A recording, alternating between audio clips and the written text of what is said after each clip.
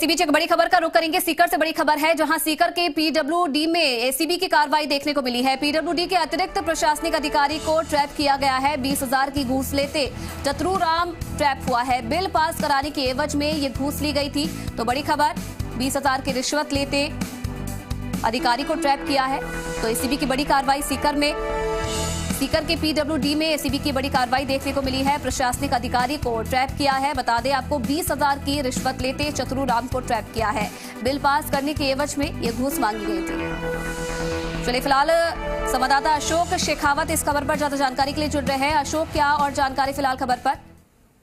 देखिए ये पीडब्ल्यूडी में अतिरिक्त प्रशासनिक अधिकारी हैं चतुराम इनको बीस हज़ार रूपए की रिश्वत लेते गिरफ़्तार किया गया है। पचास हज़ार रूपए की रिश्वत मांगी थी आरोपी ने और ये ठेकेदार है इनसे जो इनके बिल थे पेंडिंग पड़े हुए थे इन बिलों को पास करने के एवज में जो है ये रिश्वत की मांग की गई थी जिसमें पचास हज़ार की मांग की थी जिसमें आज बीस हज़ार रूपए लेते हुए एसीबी सीकर के डीवाईएसपी जाकिर अख्तर ने कार्रवाई करते हुए रंगे हाथों आरोपी चतुराम को गिरफ़्तार कर लिया। जी। चलिए बहुत धन्यवाद अशोक तमाम जानकारी देने के लिए। तो बड़ी कार्रवाई एसीबी की देखने को मिली है सीकर में।